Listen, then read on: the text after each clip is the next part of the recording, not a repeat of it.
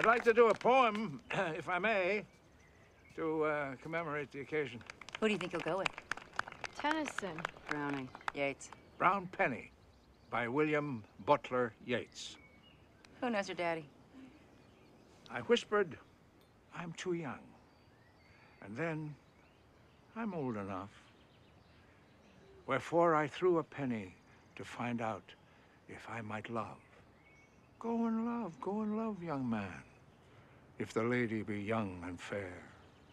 Ah, penny, brown penny, brown penny.